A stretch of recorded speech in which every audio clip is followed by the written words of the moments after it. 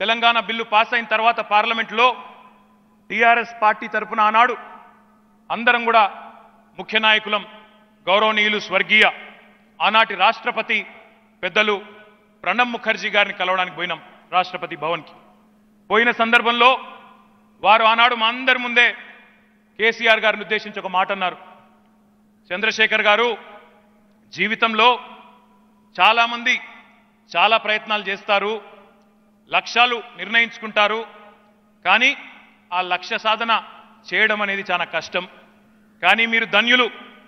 తెలంగాణ రాష్ట్రం కావాలనే ఒక లక్ష్యాన్ని నిర్ణయించుకున్నారు ప్రజలు మీకు మద్దతు పలికినారు మళ్ళీ ఆ లక్ష్యాన్ని మీ జీవితకాలంలోనే చేరుకోవడమే కాదు చేరుకున్న ఆ రాష్ట్రానికి ప్రజల ఆశీర్వాదంతో తిరిగి మీరే ముఖ్యమంత్రి అయినారు మీరు ధన్యులు మీ జీవితం ధన్యమైపోయిందని చెప్పి స్వయంగా ప్రణబ్ ముఖర్జీ గారు చెప్పినారు.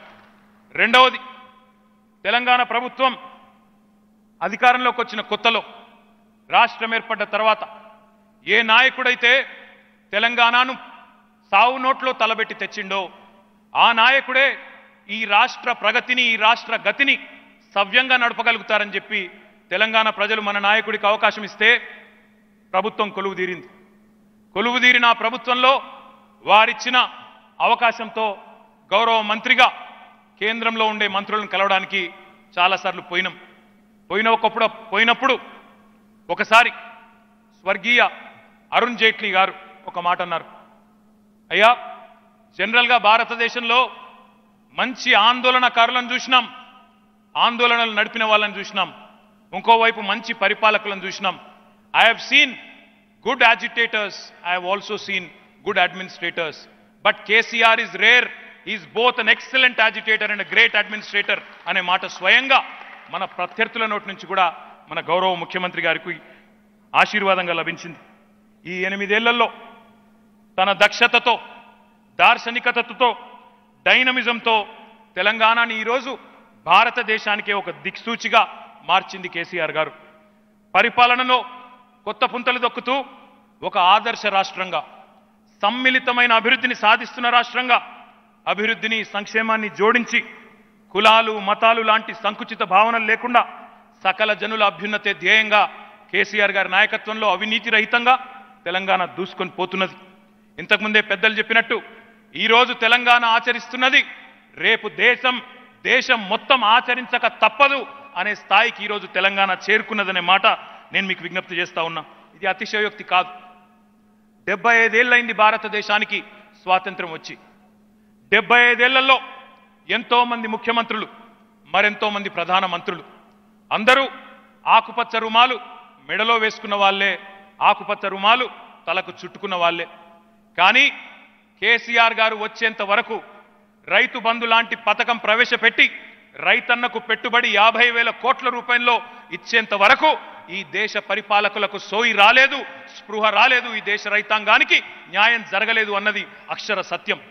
మన రైతు బంధు ఈరోజు కేంద్ర ప్రభుత్వానికి ప్రేరణ అయింది.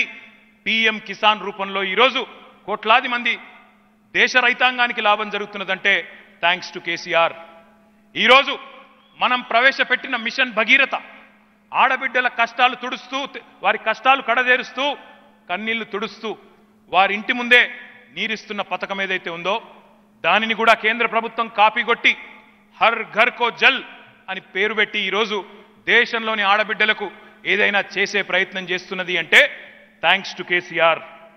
TS iPASS అని మనం ప్రవేశపెట్టి అవినీతి రహితంగా పారదర్శకంగా పరిశ్రమలకు అనుమతులు ఇస్తుంటే దానిని కాపీ కొట్టి ఈరోజు వారు సింగిల్ విండో సిస్టమ్ ఒకటి తీసుకొస్తున్నారు అంటే పారిశ్రామికవేత్తలు చెప్తా ఉన్నారు థ్యాంక్స్ టు కేసీఆర్. ఆరు నెలల్లోనే ఆరు దశాబ్దాల విద్యుత్ సమస్యను పరిష్కరించిన దక్షత. ఆరు నెలల్లోనే ఇరవై నాలుగు గంటల విద్యుత్తు తెలంగాణలో మాత్రమే భారతదేశంలో ఇరవై ఎనిమిది రాష్ట్రాలుంటే తెలంగాణలో మాత్రమే వ్యవసాయానికి ఇరవై నాలుగు గంటలు ఉచిత విద్యుత్ ఇస్తున్న సమర్థత థ్యాంక్స్ టు కేసీఆర్. అదేవిధంగా డెబ్బై ఐదేళ్ళ నుంచి వింటున్నాం చైనా అద్భుతంగా ప్రాజెక్టులు కడుతుందట చైనాలో ప్రాజెక్టులు వాయువేగంతో పూర్తవుతాయట రెండేళ్ళలో కడతారంట వంద రోజుల్లో కడతారంట అని కథలు కథలుగా పుంకాను పుంకాలుగా ఇంటా ఉన్నాం. కానీ భారతదేశంలో అతి చిన్న వయస్సు కలిగిన రాష్ట్రమైనప్పటికీ నిన్నగాక మొన్న పుట్టిన రాష్ట్రమైనప్పటికీ ఒక రకంగా చెప్పాలంటే ఇంకా బాలారిష్టాలు దాటకపోయినప్పటికీ కాలంతో పోటీ పడుతూ ప్రపంచంలోనే అతి పెద్దదైన లిఫ్ట్ ఇరిగేషన్ ప్రాజెక్టును కాళేశ్వరాన్ని నిర్మించిన ఘనత మన ముఖ్యమంత్రి కేసీఆర్ గారికి దక్కిందనే మాట నేను మీకు ఈ సందర్భంగా విజ్ఞప్తి చేస్తా ఉన్నా. పాలమూరును పచ్చగా చేసి రివర్స్ మైగ్రేషన్ అయ్యేటట్టు చేసిన ఎండిపోయిన శ్రీరామ్ సాగర్ను రివర్స్ పంపింగ్ ద్వారా జీవకళ వచ్చే విధంగా చేసిన thanks to KCR one and only KCR. నాలుగు దశాబ్దాల ఫ్లోరోసిస్ అనే మహమ్మారిని నాలుగేళ్ళలో పరిష్కరించినారు అంటే థ్యాంక్స్ టు కేసీఆర్స్ డైనమిజం. సమ్మిళితమైన అభివృద్ధి ఒక బ్యాలెన్స్డ్ గ్రోత్ మోడల్ భారతదేశంలో ఎన్నడూ చూడని ఒక అరుదైన మోడల్ని దేశం ముందు ఆవిష్కరించింది తెలంగాణ నాయకత్వం టీఆర్ఎస్ ప్రభుత్వం. పల్లె ప్రగతిలో అవార్డులు పంట పండినా పట్టణ ప్రగతిలో కూడా అవార్డులు వస్తూ ఉన్నాయి. ఇటు వ్యవసాయం దిగుబడులు పెరుగుతున్నాయి అటు ఐటీ ఎగుమతులు పెరుగుతూ ఉన్నాయి. పారిశ్రామీకరణ జరుగుతోంది వేగంగా పర్యావరణం కూడా దానికి ధీటుగా పెరుగుతోంది. అభివృద్ధి అద్భుతంగా జరుగుతూ ఉంది సంక్షేమం దానితో పాటే పరుగులు పెడుతున్నది. జనహితమే మన మతం అనే ధ్యేయంగా ముందుకు దూసుకొని పోతున్నది తెలంగాణ థ్యాంక్స్ టు కేసీఆర్. అందుకే అంటున్నాం ఈరోజు ఈ దేశానికి తెలంగాణ తరహా అభివృద్ధి కావాలి. కరెంటు నీళ్ళు వ్యవసాయంలో సమృద్ధి కావాలి. ఈ దేశానికి ఒక దార్శనికుడు కావాలి ఒక విజనరీ కావాలి టెలివిజనరీలు కాదు. విజన్ కావాలి. దేశ ప్రజల జీవితం బాగు చేసే విజన్ కావాలి. వారిని మతం పేరిట కులం పేరిట చిచ్చుబెట్టి చేసే డివిజన్ కాదు.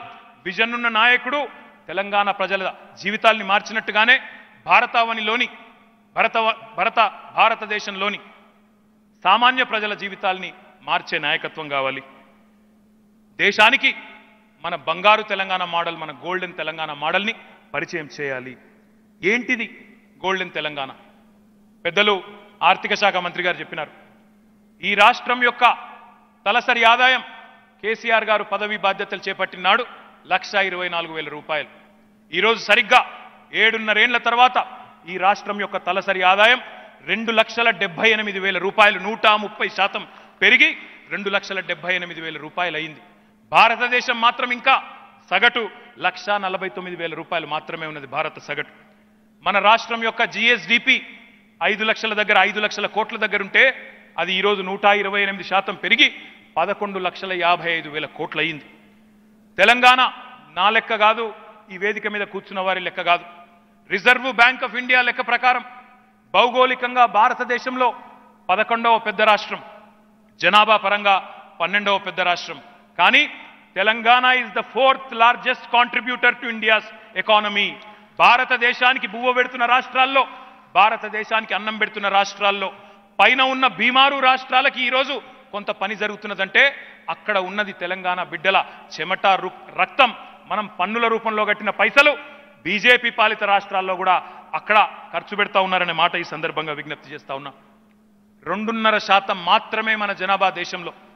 దేశంతో పోలిస్తే మన జనాభా రెండున్నర శాతం. కానీ భారతదేశం యొక్క జీడిపిలో మన వాటా ఐదు శాతం. అంటే ఒక యాభై కిలోల బాక్సర్ కదా వంద కిలో బాక్సర్తో కొట్లాడితే ఎట్లుంటుందో we're literally punching double our weight ఆ స్థాయికి ఈరోజు తెలంగాణ చేరుకున్నది. ఒక మత పిచ్చి లేని కుల పిచ్చి లేని పేదవాడి మొహంలో చిరునవ్వు చూడాలనే ఒక సంక్షేమ దిశలో ముందుకు పోతున్న తెలంగాణ. విశ్వ మానవ సౌభ్రాతృత్వాన్ని వాంఛించి దాన్నే దృఢ సంకల్పంగా చేసుకొని ముందుకు పోతున్నదే గోల్డెన్ తెలంగాణ మోడల్ బంగారు తెలంగాణ మోడల్. మరి నేను అంటున్నా గోల్మాల్ గుజరాత్ మోడల్ పెట్టి రెండు వేల పదకొండు నుంచి రెండు వేల పద్నాలుగు వరకు ఊదరగొట్టి ఈ దేశ ప్రజలను ఆగమాగం చేసి సోషల్ మీడియాలో ప్రచారం చేసుకొని ఈరోజు వాళ్ళు వచ్చి కూర్చున్నారు అక్కడ. ఒక్కసారి ఆలోచన చేద్దాం. తెలంగాణ ప్రభుత్వానిది అద్భుతమైన సాఫల్యాల చరిత్ర అయితే కేంద్ర ప్రభుత్వానిది అంతులేని వైఫల్యాల చరిత్ర. ఎన్ని మాటలు ఎన్నెన్ని మాటలు చెప్పిండు నరేంద్ర మోడీ ఒక్కసారి గుర్తు చేస్తాం. రెండు వేల పద్నాలుగులో నరేంద్ర మోడీ గారు చెప్పినారు. రెండు వేల ఇరవై రెండో సంవత్సరం కల్లా భారతదేశంలోని రైతుల యొక్క ఆదాయాన్ని రెట్టింపు చేస్తా డబల్ చేస్తా మీ ఆదాయాన్ని అని చెప్పిండు నరేంద్ర మోడీ. కానీ ఏం చేసిండు? కష్టాలు కన్నీళ్ళు పెట్టుబడి కాస్ట్లు అవి మాత్రమే డబుల్ అయినాయి తప్ప ఆదాయం ఎక్కడా డబల్ కాలే. రైతులను అరిగోసబెట్టి పదమూడు నెలల పాటు చిత్రవద చేసి నల్ల చట్టాలు తెచ్చి వ్యవసాయాన్ని కార్పొరేటీకరణ కోసం ఇప్పుడే సోదరులు గంగుల కమలాకర్ గారు చెప్పినట్టు కొంతమంది తనకు అస్మదీయులు ఎవరైతున్నారో వారి కోసం రైతులను పనంగా పెట్టిండు నరేంద్ర మోడీ మోదీ సాబ్ ने किया था वादा किसान को मजबूत करने का मजबूत करने का वादा किया था फिर किया क्या उन्होंने मजबूर बनाया आज किसान मजदूर बनने का हालत आज इस देश में आ गया అందుకే దేశ రైతన్నలు అంటున్నారు నరేంద్ర మోదీ రైతు విరోధి నువ్వు వ్యవసాయం అనేది నీకు తెలియదు నీకు వ్యవసాయం పట్ల మక్కువ లేదు వ్యవసాయం పట్ల అవగాహన లేదు అందుకే నీ మంత్రులు అంటారు మేము పోతే నూకలు తినండి నూకలు తినడం నేర్పండి. ఎట్లా ఏం చేసింది తెలంగాణ? అని అడ్డగోలు మాటలు మాట్లాడుతున్నారు. కాబట్టి దేశ రైతన్నలు ఆలోచన చేయాలని చెప్పి నేను కోరుతా ఉన్నా. రెండు వేల ఇరవై రెండు కల్లా ప్రతి పేదవాడికి ఇల్లు ఇస్తా అన్నాడు. ప్రతి పేదవాడికి ఇల్లు ఇస్తా. హర్ గరీబ్కో ఘర్ దెంగే. ఒక్కరు కూడా ఇల్లు లేని నిరుపేదలు ఉండరన్నారు నరేంద్ర మోడీ. కానీ జరిగిందేంది నోట్ల రద్దు లాంటి అపసవ్యపు ఆలోచనలు చేసి తన దివాలాకోరు ఆర్థిక విధానాలతో కొత్త ఇల్లు ఇచ్చుడు కాదు ఉన్న ఇల్లే అమ్ముకునే దుస్థితిని తెచ్చిండు నరేంద్ర మోడీ. నల్లధనం మొత్తం తెస్తానన్నాడు. ఏమన్నాడు అన్నాడు మిత్రం ఆప్ సభీలో జన్ ధన్ ఖాతా ఖోలో మే ధన్ ధన్ పంద్రా లాక్ దేతు అన్నాడు. వచ్చినాయా పంద్రా లాక్? ఏదయ్యా మోడీ గారు? నల్లధనం అంటే ఈరోజు తెల్లముఖం వేస్తున్నాడు బిక్కమొహం వేస్తున్నాడు మొగులు దిక్కు చూస్తున్నాడు. ఈ దేశ యువతకు ఏటా రెండు కోట్ల ఉద్యోగాలు ఇస్తానని మభ్యపెట్టిండు. ఏడాదికి రెండు కోట్ల ఉద్యోగాలు మరి ఎనిమిది ఏళ్ళ పదహారు కోట్ల ఉద్యోగాలు ఇవ్వాలి ఉన్న కొత్త ఉద్యోగాలు ఇచ్చుడు దేవుడెరుగు. ఉన్న ఉద్యోగాలు ఊడగొడుతున్నాడు ప్రభుత్వ రంగ సంస్థలు నమ్ముతున్నాడు. దాంతో పాటు గట్టిగా అడిగినవనుకో ఏదయ్యా మోడీ గారు ఉద్యోగాలంటే పకోడీలు వేసుకోవడం బజ్జీలు వేసుకోవడం ఇడ్లీ బండి పెట్టుకోవడం ఉద్యోగం కాదా అని దబాయిస్తున్నాడు. ఇది ఈరోజు పరిస్థితి. ఈ దేశ మహిళా సోదరి మనకు చెప్పినాడు. యూపీఏ ప్రభుత్వ వైఫల్యం వల్లనే కేంద్ర ఆనాడు కేంద్రంలో ఉన్న మన్మోహన్ సింగ్ వైఫల్యం వల్లనే సిలిండర్ ధరలు పెరుగుతున్నాయి అన్నాడు. మరి ఈరోజు సిలిండర్ వెయ్యింది మా మహిళలకు కట్టెల పొయ్యే మళ్ళీ దిక్కయింది. మాట్లాడితే వోకల్ ఫర్ లోకల్ అంటాడు Narendra Modi. Vocal for local. మరి నేను అడుగుతా ఉన్న మోదీ గారు ప్రపంచంలోనే అతి పెద్దదైన లిఫ్ట్ ఇరిగేషన్ ప్రాజెక్టును భారతదేశంలోనే ఒక అంతర్భాగమైన తెలంగాణ రాష్ట్రం నువ్వు అర పైసా సహాయం చేయకపోయినా కేసీఆర్ గారి నాయకత్వంలో కడితే అది భారత ప్రధానిగా ఉన్న నీకు గర్వకారణం కాదా? కనీసం ప్రశంసాపూర్వకమైన మాట ఎందుకు రాదు? వోకల్ ఫర్ లోకల్ అంటవే ఈ లోకల్ ప్రాజెక్టు ఈ లోకల్ ప్రభుత్వం చేసిన పనిని కనీసం నీ మనసులో ఎందుకు చోటు ఇయ్యలేకపోతా ఉన్నావని నేను అడుగుతా ఉన్నా. అది మాత్రమే కాదు. ఈ దేశ మధ్యతరగతికి చెప్పినాడు. పెట్రోలు డీజిల్లు ధరలు యూపీఏ వైఫల్యం వల్లనే పెరుగుతున్నాయి అన్నాడు. కానీ డెబ్బై రూపాయలుంటే ఆనాడు పెట్రోల్ రెండు వేల పద్నాలుగులో ఈరోజు నూట ఇరవై రూపాయలు చేసిండు. రెండు వేల ఇరవై రెండు కల్లా బుల్లెట్ రైళ్ళు పరుగులు పెడతాయన్నాడు. కానీ ఉన్న రైళ్ళే అమ్ముతున్నాడు రైల్వే స్టేషన్లు అమ్మే పరిస్థితి ఈరోజు తీసుకొచ్చినాడు. ఆత్మనిర్భర్ భారత్ అంటాడు. మనోనిబ్బరం కోల్పోయే విధంగా వ్యవహారం చేస్తా ఉన్నాడు. అది మాత్రమే కాదు మిత్రులారా డబల్ ఇంజన్. ఈ మధ్యన బాగా వాడుతున్న బాగా ఇష్టం వచ్చినట్టు మాట్లాడుతున్న మాట డబల్ ఇంజన్. డబల్ ఇంజన్ అంటే ఏందో అనుకున్నారు ప్రజలు. కానీ డబల్ ఇంజన్ డబల్ ఇంజన్ అంటే రైతుల కష్టాలు డబల్ పెట్రోల్ ధరలు డబల్ గ్యాస్ ధరలు డబల్ ఫర్టిలైజర్ ధర డబల్ నిత్యావసరాలు డబ్- డబల్ పరిశ్రమలకు నష్టాలు డబల్ మత పిచ్చి డబల్ అరాచకాలు డబల్. మొత్తం దేశం చూసినట్టయితే ఒక కుప్ప చేసి కుప్ప చేసి ఈరోజు ఒక దివాలాకోరు విధానాలతో దేశాన్ని అగమ్యగోచరంగా మార్చిండు నరేంద్ర మోడీ. హర్ ఘర్ కో జల్ అంటున్నాడు ఇప్పుడు కొత్తగా మనం కాపీ కొట్టి. హర్ ఘర్ కో జల్ అంటున్నాడు. కానీ చేస్తున్నది ఏంది? చేసేదొకటి చెప్పేదొకటి. పేరు హర్ ఘర్ కో జల్. కానీ హర్ ఘర్ మే జహర్ హర్ ఘర్ మే జహర్. ప్రతి మనిషిలో ప్రతి మనసులో విషాన్ని నింపే ప్రయత్నం చేస్తా ఉన్నాడు. విష ప్రచారాలతో మత పిచ్చిని లేపే ప్రయత్నం చేస్తా ఉన్నాడు. రైతుల రుణమాఫీ చేయడు రైతుల రుణమాఫీ చెయ్యడు. పదిహేను లక్షలేస్తానన్నాడు జనధన్ ఖాతాలలో వెయ్యడు. కానీ ఆయన కార్పొరేట్ దోస్తులకు మాత్రం పదకొండు లక్షల కోట్లు అత్త సొమ్ము అల్లుడు దానం చేసినట్టు బ్రహ్మాండంగా మాఫీ మాత్రం చేస్తా ఉన్నాడు. మాట్లాడితే దేశం కోసం ధర్మం కోసం. దేశం కోసం ధర్మం కోసం. కానీ విద్వేషం చెలరేగుతుంటే అధర్మం అడుగడుగున అరాచకం చేస్తుంటే కళ్ళు మూసుకుంటాడు. వినబడినట్టు నటిస్తాడు తప్ప ఆయనకు మనసులో దేశభక్తి లేదు. విద్వేషభక్తి మాత్రమే నిండా ఉన్నది. పరిశ్రమలకు కోవిడ్తో కునారెళ్ళిన పరిశ్రమలకు ఇరవై లక్షల కోట్ల ప్యాకేజ్ అన్నాడు ఎక్కడ పోయిందా మోడీ గారు అంటే పరిశ్రమలు లక్షల సంఖ్యలో మూతబడుతున్నాయి మోదీ గారు. ఎక్కడున్నాయి నీ ఇరవై లక్షల కోట్లంటే? అరే బై ఓతో జుమ్లాత. ఏదో ఉత్తగా చెప్పిన పిచ్చోళ్ళని చేసేందుకు చెవుల పువ్వు పెట్టినా అని చెప్పి తప్పిచ్చే మాటలు మాట్లాడతాడు. జాతీయవాదం అంటాడు. కానీ జాతి సంపద అయిన HPCL Coal India Steel Authority of India BPCL పక్క రాష్ట్రంలో ఉన్న వైజాగ్ స్టీల్ అన్నింటినీ తుక్కు కింద అమ్ముతా ఉన్నాడు ఆఖరికి ఈ దేశంలో ప్రతి ఒక్కరూ తమ సంస్థగా గర్వంగా చెప్పుకునే Life Insurance Corporation of India మనందరికీ ప్రీతిపాత్రమైన ఎల్ఐసిని కూడా అమ్ముతున్న ప్రయత్నం చేస్తూ ఉన్నాడు అందుకే నేను అంటా ఉన్నా భాయ్యో సోచో మోదీ సాబ్ బహుత్ కుచ్ బోల్తే హే make in India digital India standup India sit India fit India आज क्या बोल रहे हैं वो बेचो इंडिया बेचो इंडिया इसीलिए मैं कहता हूं सोचो इंडिया क्या चल रहा है इस देश में जरूर सोचो ఆగం కావద్దు దేశం కోరుకుంటున్నది ఉద్వేగాల భారతం కాదు ఉద్యోగాల భారతం కోరుకుంటుంది పవిత్ర గంగా నదిని ప్రక్షాళన చేస్తా అన్నాడు పవిత్ర గంగా నదిని నమామి గంగే అని చెప్పి ప్రక్షాళన చేస్తా అన్నాడు కానీ చేసిండేంది కరోనా సమయంలో వందల సంఖ్యలో అదే గంగలో శవాలు తేలుతుంటే ప్రపంచం నివ్వెరపోయి ఇంత అసమర్థ ప్రభుత్వమా మీది అని చెప్పి నివ్వెరపోయి చూసే పరిస్థితి తెచ్చిండు. జాతిపిత మహాత్మా గాంధీ గారి సూక్తులు వల్లవేస్తాడు తెల్లారలేస్తే ఎవరు వచ్చినా బోరిస్ జాన్సన్ వచ్చినా అమెరికా అధ్యక్షుడు వచ్చినా చైనా అధ్యక్షుడు వచ్చినా సాబర్మతి ఆశ్రమానికి గుంటపోతాడు కానీ గాడ్సే లాంటి హంతకులను ఆరాధించే దౌర్భాగ్యులకు పెద్దపీట వేస్తాడు. వాళ్ళు గాంధీ గారిని దూషిస్తుంటే మౌనంగా ప్రేక్షక పాత్ర వహిస్తూ వారికి పరోక్షంగా వత్తాసు పలుకుతాడు. తన తికమక దౌత్య నీతితో తలాతోకా లేని ఫారెన్ పాలసీతో ప్రపంచం ముందు దేశాన్ని నవ్వుల పాలు చేస్తా ఉన్నాడు. ఎలక్షన్ ఉంటే పాకిస్తాన్ని తిడతాడు. ఎలక్షన్ రాగానే పాకిస్తాన్. కానీ ఎలక్షన్ లేకపోతే పిలవకపోయినా నవాజ్ షరీఫ్ గారి దగ్గర పోయి విందులు మాత్రం ఆరోగిస్తాడు. అది మాత్రమే కాదు. ఇంకా సిగ్గుచేటేమంటే అతి గర్వంతో అంతా తనకే తెలుసనే ఒక అహంకారంతో. అదేదో అహ్మదాబాద్ మున్సిపల్ కార్పొరేషన్ ఎలక్షన్ అన్నట్టు అమెరికా ఎలక్షన్లు దూరిండు. అబ్ కీ బార్ ట్రంప్కి సర్కార్ అన్నాడు.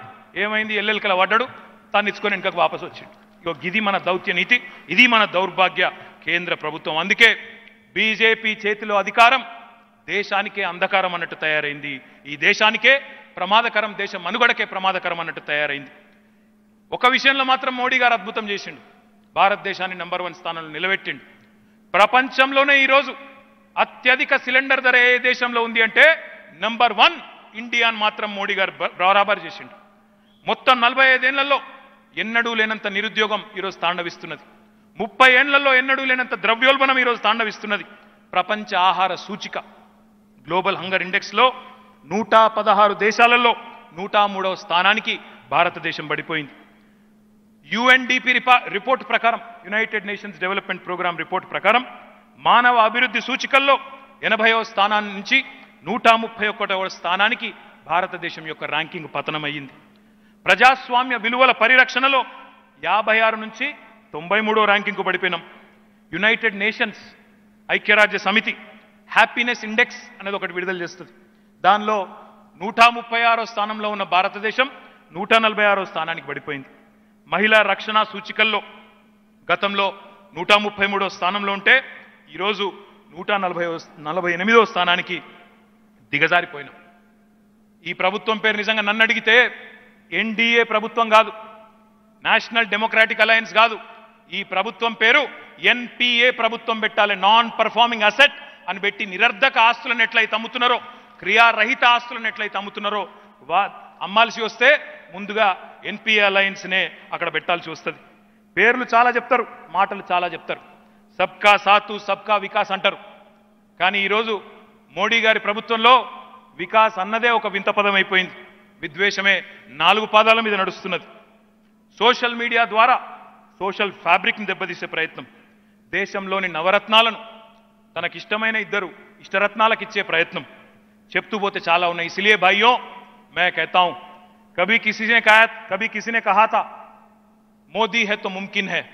పర్ ఆజ్ మే కహతా मोदी है तो मुश्किल है इस देश के लिए भारत के लिए हिंदुस्तान के लिए अगर मोदी है तो मुश्किल है మిత్రులారా ఒక నిర్మాణ నిర్మాణాత్మక నిర్మాణాత్మకమైన సంస్థలో ఒక కార్యకర్తగా మీలో ఒకడిగా ఒక సోదరుడిగా డెబ్బై ఐదేళ్ల భారత స్వాతంత్ర్య అనంతరం ఈరోజు మన పార్టీ సమావేశంలో కలత పడుతున్న బాధపడుతున్న ఒక సగటు భారతీయుడిగా ఒక తండ్రిగా భవిష్యత్ తరం గురించిన ఆవేదనతో ఆందోళనతో రెండు మాటలు నేను మీకు మనవి చేసుకుంటా ఉన్నా. ఇంకా ఎన్ని రోజులు? డెబ్బై ఐదేళ్ళైంది స్వాతంత్రం వచ్చి. ఇంకా ఎన్ని రోజులు భారతదేశం ఎదుగుతున్న దేశంగానే ఉండాలి? ఇంకా ఎన్ని రోజులు భారతదేశం థర్డ్ వరల్డ్ కంట్రీగా ఒక పేద దేశంగా ఉండాలి? ఇంకా ఎన్ని రోజులు? ఎన్ని దశాబ్దాలు? కులపిచ్చి మతపిచ్చి రేపే సంస్థలు వాళ్ళ ఎజెండాలు వాళ్ళు రెచ్చగొట్టే ఉద్వేగాలు వాటికి లోనవుదాం. మాట్లాడితే ఇంతకుముందే పెద్దలు ముఖ్యమంత్రి గారు చెప్పినారు. ఒక మతం వారు జరుపుకునే ఊరేగింపుల్లో పరమత సహనానికి పేరెన్నిక కలిగిన భారతదేశంలో ఇంకో మతాన్ని కించపరచమని ఏ దేవుడు చెప్పిండు? నా పేరు చెప్పి కొట్లాడండి కొట్టుక చావండి అని ఏ దేవుడు చెప్పిండు మన ప్రజలకి మన నాయకులకి మన పార్టీలకి? ఇంకా ఎన్ని రోజులు? మనకంటే పేద దేశాలైన బంగ్లాదేశ్తో పాకిస్తాన్తో పోల్చుకొని సంకలు గుద్దుకుందాం. మనకంటే ముందున్న రాష్ట్రాలు ముందున్న దేశాలు వాటితో పోల్చుకునే పరిస్థితి లేదా? పంతొమ్మిది వందల ఎనభై ఏడులో సరిగ్గా ముప్పై ఐదేళ్ళ కిందట చైనా ఇండియా రెండింటి యొక్క జీడిపి పరిమాణం ఒకటే నాలుగు వందల డెబ్బై బిలియన్ల డాలర్లు. సేమ్ ఒకటే జీడిపి నైన్టీన్ ఎయిటీ సెవెన్లో. కానీ ఈరోజు ఏంది పరిస్థితి ముప్పై ఐదేళ్ళ తర్వాత? మన జీడిపి మూడు ట్రిలియన్ డాలర్లుంటే చైనా పదహారు ట్రిలియన్ డాలర్లకు పోయింది. మన తలసరి ఆదాయం పద్దెనిమిది వందల డాలర్లుంటే చైనా తొమ్మిది వేల డాలర్లకు ఎగబాకింది. అందుకే అంటా ఉన్నా మేరా భారత్ మహాన్ అనే నినాదం సాకారం చేసే నాయకుణ్ణి ఈరోజు భారతదేశం కోరుతున్నది. ఆ నాయకుణ్ణి బహుశా తెలంగాణనే అందిస్తుందని చెప్పి మనసారా మీ అందరితో పాటు నేను కూడా ఆకాంక్షిస్తా ఉన్నా. తెలంగాణలో అభివృద్ధి తెలంగాణలో సంక్షేమం ఆరున్నర ఏడేళ్ళలో సాధ్యమైనప్పుడు భారతదేశంలో ఎందుకు కాదు? ఈరోజు భారతదేశ యువకులు కొడుతూ ఉన్నారు. ఉద్వేగాల భారతం కాదు ఉద్యోగాల భారతం కావాలి ఉద్యోగ పర్వం షురూ కావాలి. తెలంగాణ లాంటి వ్యవసాయ అనుకూల పథకాలు భారతదేశం అంతటా అమలు కావాలి. డబల్ ఇంజన్ సర్కార్లు కాదు గ్రోత్ ఇంజన్ సర్కార్లు కావాలి. Golmaal model bulldozer model buildup model కాదు గోల్డెన్ తెలంగాణ మోడల్ దేశానికి పరిచయం కావాలి. మహాత్మా గాంధీ అన్నారు ఈశ్వర్ అల్లా తేరే నామ్ సబ్కో సన్మతి దే భగవాన్. ఈరోజు మనం అదే చెప్తా ఉన్నాం. ఒక వసుదైక కుటుంబంగా ఉన్న భారతదేశం భిన్న మతాలు భిన్న కులాలు భిన్న వర్గాలు భిన్న సంస్కృతులు అన్నిటి సమాహారంగా ఉన్న భారతదేశం ఒక అందమైన పూల బొకేలాగున్న భారతదేశం. ఇట్లాంటి దేశాన్ని కాపాడాలంటే కేసీఆర్ లాంటి టార్చ్ బేరర్ భారతదేశ ప్రగతికి బంగారు బాటలు వేయాలని ఈ తీర్మానాన్ని ప్రవేశపెడుతూ జై తెలంగాణ జై కేసీఆర్.